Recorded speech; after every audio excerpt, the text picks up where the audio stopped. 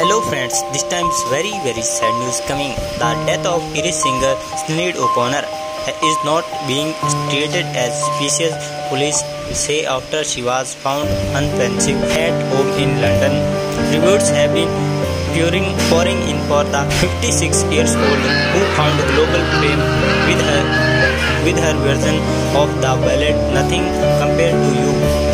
A statement from the Metropolitan Police said Police were called at 11 am on Wednesday, 26 July, to reports of an unconscious woman at residential address in the E24 area. For more watching videos, please subscribe my channel and please comment RIP.